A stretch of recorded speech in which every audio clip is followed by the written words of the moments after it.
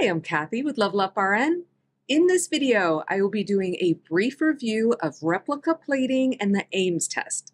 And at the end of the video, I'm going to give you guys a little quiz to test your understanding of some of the key facts I'll be covering. So definitely stay tuned for that.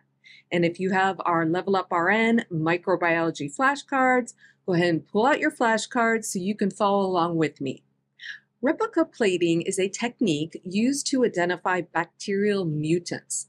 Specifically, it is used to identify auxotrophs, which are bacteria that are unable to synthesize a required nutrient due to a genetic mutation. A wild type bacterial cell is a cell that does not have the mutation. A wild type cell is able to grow on a medium that lacks the nutrient because it can synthesize it itself. However, since an auxotroph cannot synthesize the nutrient, it will be unable to grow in a medium that lacks the nutrient.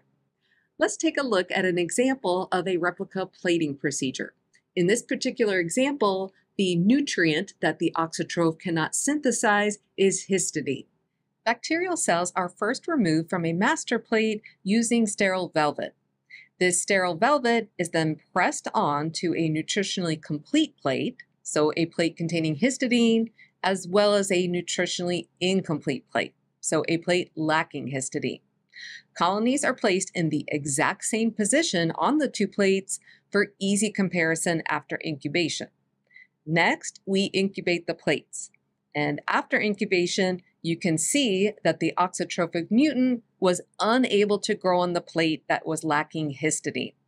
In order to study this auxotroph further, researchers can obtain a sample of the colony at the same location on the nutritionally complete plate. Next, we have the Ames test, which is a screening test used to determine if a specific chemical can cause mutations in bacteria. If it does cause mutations, it may also be carcinogenic, which means cancer causing. Let's take a look at an example of an Ames test. The Ames test uses a mutated strain of Salmonella that is unable to synthesize histidine. During the test, two plates are prepared without histidine, an experimental plate and a control plate. Bacteria that are exposed to the chemical in question are placed on the experimental plate, and bacteria that are not exposed to the chemical are placed on the control plate. Both plates are then incubated.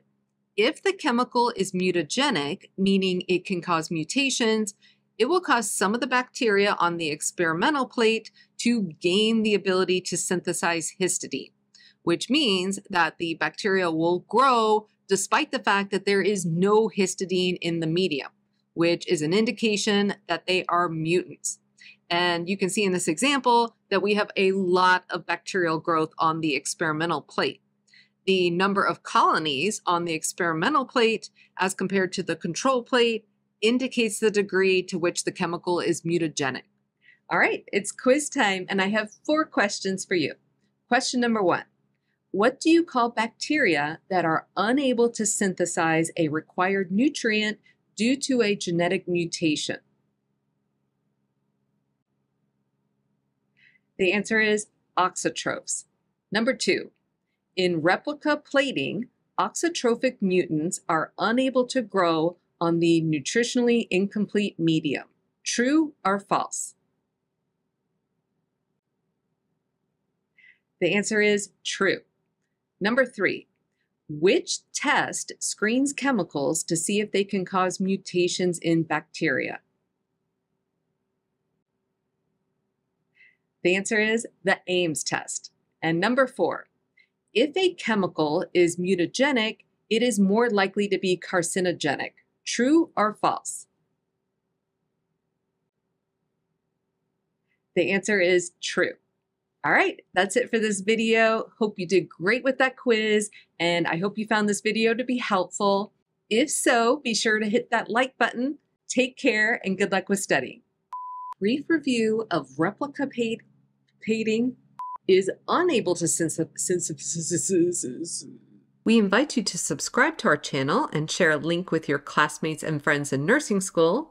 And if you found value in this video, be sure to hit that like button and let us know what you found to be particularly helpful.